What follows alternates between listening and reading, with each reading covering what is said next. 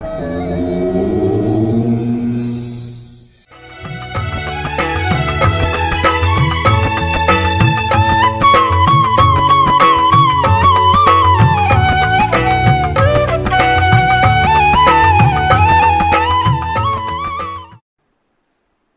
வணக்கம். அரங்கர் டிவியிலிருந்து நான் உங்கள் தர்ஷினி பிரியா. இப்போ நம்ம திருச்சி மாவட்டம் துறையூரில் அமைந்துள்ள ஸ்ரீ அகத்தியர் சன்மார்க்க சங்கம் மோங்காரக்குடியில் இருக்கோம். இங்கு மலேசியாவிலிருந்து வந்திருக்கும் அன்பர்களின் அனுபவங்களை கேட்டு தெரிஞ்சுக்கலாம் வாங்க.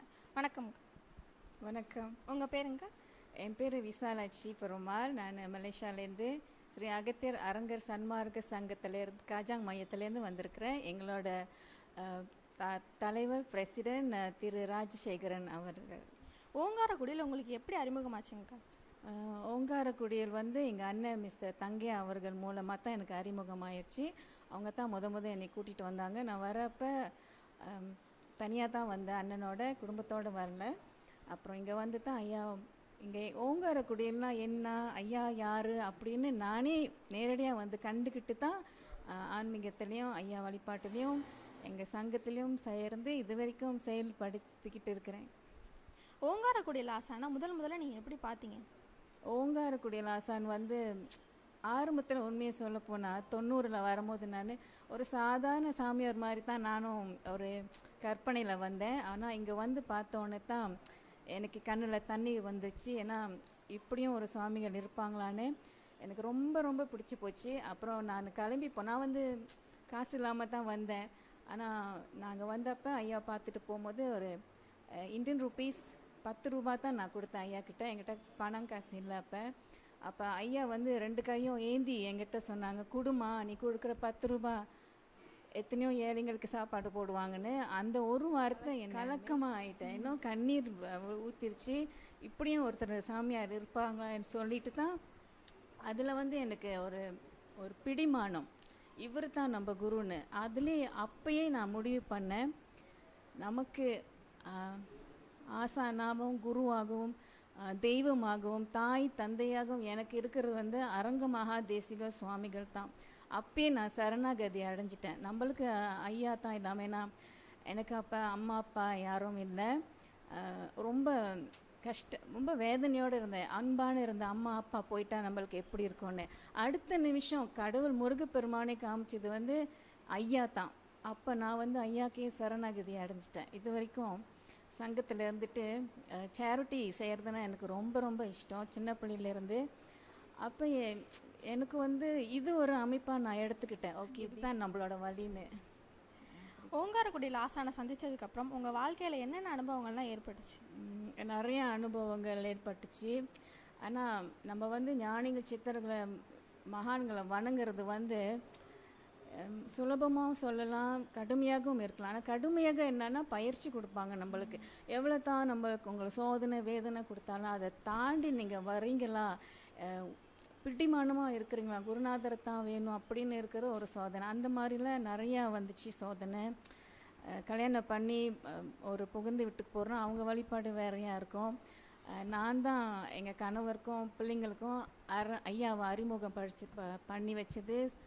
தொண்டு செய்யணும் சைவத்தை மேற்கொள்ளணும்னு அப்போ உங்களுக்கு தெரியும் ஒரு மருமக புகுந்து வீட்டில் எவ்வளோ பிரச்சனை வரும்னு. அதெல்லாம் ஒரு பெரிய சோதனை தான். அப்புறம் படிப்படியாக நிறையா இருந்துச்சு. அப்புறம் ஆனால் அந்த சோதனை வேதனைலாம் ஒரு சில காலகட்டத்துக்கு தான். அதுக்கப்புறம் ஸ்மூத்தாக ஆயிடுச்சு எல்லாமே. சரியாக வந்துருச்சு. என்ன ஐயா சொன்ன கொள்கைகளை நம்ம பின்படுத்தினா எந்த ஒரு பிரச்சனையும் இல்லை. விடாப்பிடியாக இருக்கணும். ஐயா சொன்ன கொள்கைகளை சரிகை கிரிகை யோக ஞானம் இதை கண் இதை பிடிச்சிக்கிட்டே வந்தால் நம்மளுக்கு எந்த ஒரு துன்பமும் இல்லை. எல்லாத்துக்கூடயும் ஐயா என்ன சொல்கிறாங்க அன்பாக இருக்கணும். அந்த அன்பு மட்டும் நம்ம காட்டினா எந்த ஒரு பிரச்சனையும் இருக்காது. அது எனக்கு ரொம்ப பிடிச்சிருந்துச்சு. உங்கள் ஃபேமிலியில் உங்கள் கணவர்கிட்ட இந்த மாதிரி சொன்னேன். அவங்க ஏற்றுக்கல நிறைய பிரச்சனை இருந்துச்சு அப்படின்னு சொன்னீங்க. அதை எப்படி அவங்க ஏற்றுக்கிட்டாங்க அதை எப்படி நீங்கள் சமாளிச்சீங்க? அதை பற்றி சொல்லுங்கள் ஆக்சுவலி கணவர் ஏற்றுக்க மாட்டாருன்னு சொல்ல வரல. அவர் அவர் வந்து வேறு வழிபாட்டில் இருந்தாங்க. அஹ், சிறு தெய்வம் வழிபாட்டில். எனக்கு ரொம்ப பயமாக இருந்துச்சு. முத முத ஓங்கார்குடியிலேருந்து நான் வீட்டுக்கு போகும்போது ரொம்ப பயந்தேன் எப்படி நம்ம கணவர்கிட்ட சொல்லி அவரையும் நம்ம எப்போதும் கணவர் மனைவி பேரலாக போயினா தான் எல்லாத்தையும் சாதிக்க முடியும். கணவர் கண்டிப்பாக என்னோட இருந்தாகணும்னு. அப்புறம் நான் முத முத எங்கள் மாமியார்கிட்ட தான் போய் சொன்னேன். அவங்க சொன்னாங்க நீ நல்ல வழியில் தானே போகிற எதுக்கு நீ தயங்குற? போய் வீட்டுக்கார்ட்ட சொல்லுன்னு. அப்புறம் அவர் குளியல் அறையில் குளிச்சுட்டு இருக்கும் போது தான் நான் சின்ன விளக்கம் அகத்தியர் பாக்கெட்டில் வைப்பாங்களே அந்த படத்தை வச்சு நான் பூஜை செஞ்சுட்டு அந்த விளக்கேற்றி நான் எப்போதும் வேண்டுவேன். ஐயா என் கணவரும் என் கூட சேர்ந்து உங்கள் வழிபாட்டு பண்ணணும் எனக்கு ரொம்ப பிடிச்சிருக்கு. எந்த ஒரு தடங்களும் வரக்கூடாது அப்படின்னு நான் வேண்டி வேண்டி வேண்டி தான் க என் கணவரே ஒரு நாள் வந்து சொல்லவே இல்லை. அவரே வந்து கேட்டார் நீ என்ன தான் நான் இல்லாதப்ப நீ பண்ணிக்கிட்டு இருக்க என்னமோ ஃபீல் பண்ணுதேன்னு. அப்புறம் நான் உட்காந்துட்டு எல்லாத்தையும் ஒன்று ஒன்றா சொல்லி சொன்னேன். அப்புறம் அவர் சொன்னார் இதை நீ முன்னுக்கே என்கிட்ட சொல்லியிருக்கலாமே எனக்கு ரொம்ப பிடிக்கும் அந்த மாதிரிலான்னு. அதுலேருந்து தான் ஒன்றா நம்ம வந்தோம். அப்புறம் ஒரு பிரச்சனை இல்லை. எல்லாம் நம்ம வேண்டுகோளில் தானே இருக்குது நம்ம எப்படி மன்றாடி கண்ணீர் மல்க மண்டிட்டு ஐயா கிட்ட வேண்டுனாங்களோ ஐயா ரொம்ப கருணையே உள்ளவங்க. நல்லா கா செவி சாய்ப்பாங்க. நம்ம என்ன மன உருக கேட்டாலும் ஐயா கொடுப்பாங்க. இது நான் வாழ்க்கையில் கண்ட உண்மைகள். மலேசியாவில் ஓங்காரக்குடியில் சார்பாக என்னென்ன தொண்டுகளை செஞ்சுட்டு வரீங்க? ஓங்கார்குடி சார்பாக வந்து நாங்கள் நிறையா தொண்டு தான் செய்கிறோம் தொண்டுனா ஞானத்திருவடி புக்கு இங்கேயும் நீங்கள் பார்க்கலாம். அந்த ஞானத்திருவடி புக்கு வந்து நாங்கள் கோயில் வாசலில் போய் நின்று பொதுமக்களிடம் தர்மத்துக்காக வசூல் பண்ணுவோம்.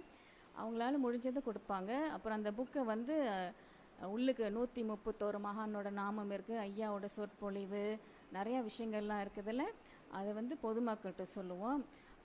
மூணு ரிங்கேட் தான். ஆனால் முடிஞ்சாலும் அவங்க கொடுப்பாங்க. அங்கே மலேசியா மக்கள் ரொம்ப கருணை உள்ளவங்க தான். ஒரு பிரச்சனையும் இல்லை. நல்லா உதவி செய்வாங்க. கோஆப்ரேஷன் இருக்குது அவங்கக்கிட்ட ஞான திருவடி புக்கை விற்பனை செய்கிறேன்னு சொல்கிறீங்க அதை வாங்குற மக்கள் என்ன சொல்கிறாங்க வாங்குற மக்கள் வந்து ஓகே ஒத்துழைப்பு கொடுப்பாங்க. சில பேர் நின்று கேட்பாங்க.